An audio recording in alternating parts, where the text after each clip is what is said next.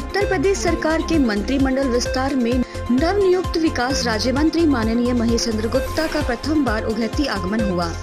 जिसमें पार्टी कार्यकर्ता और जनता जनार्दन ने फूल माला और ढोल नगाड़े के साथ उनका भव्य स्वागत किया। भाजपा कार्यकर्ता अजीत पालीवाल व मनोज शाक्य ने चांदी का मुकुट पहनाकर सम्मानित किया। सम्मानित किए गए चांदी के मुकुट को राज्य मंत्री ने वही भीड़ में मौजूद गरीब बच्चों को मुकुट दे दिया।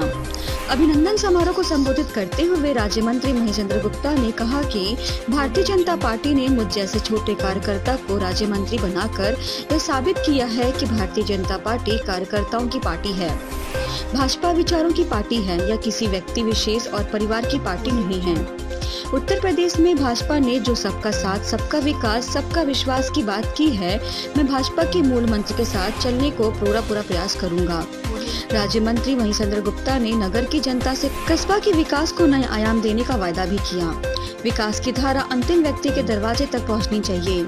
यह मेरा संकल्प है। मुझे शीर्ष नेतृत्व और सरकार ने जो विभाग दिया है, उसे पूरी पारदर्शिता व पूरी ईमानदारी के साथ पूर्ण करूँगा। उत्तर प्रदेश में आने वाले समय में स्वच्छता, पारदर्शिता और ईमानदारी का प्रभाव दिखाई देगा।